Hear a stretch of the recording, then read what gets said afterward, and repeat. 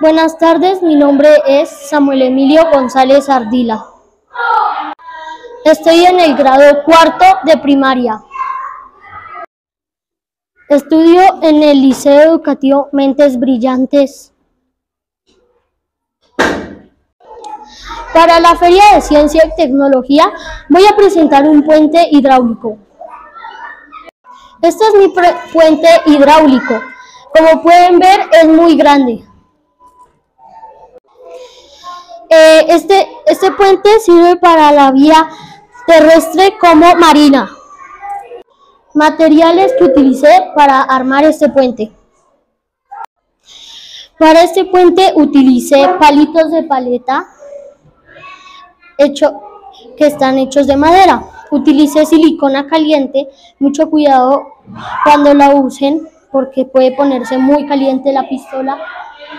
Utilicé rollos de papel higiénico que reciclé de mi casa. Utilicé papel, utilicé un cartón para hacer, para hacer los, la base de todo. Utilicé más cartón acá en el puente. Utilicé una jeringa y tubitos de suero pequeños para traspasar agua que tiene acá adentro para que pueda subir y bajar el puente. También utilicé este palillo para hacer la, el eje que, que sirve para subir y bajar. Acá utilicé un tipo de pegante que es para madera.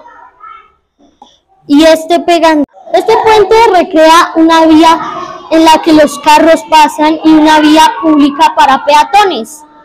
También recrea una vía marítima para que pasen los barcos. Y esto se abre, eh, se abre el puente para cuando los barcos sean muy grandes. Se abre este puente acá cuando los barcos son muy grandes. Vamos a ver el funcionamiento de este puente hidráulico.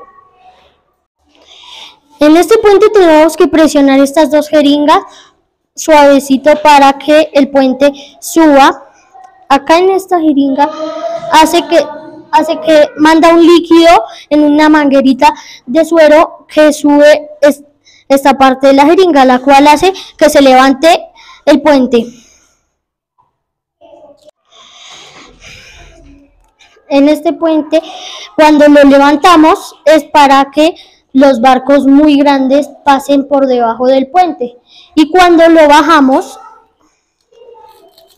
sirve para que los carros puedan pasar al, al otro lado del río. Espero que les haya gustado mi proyecto.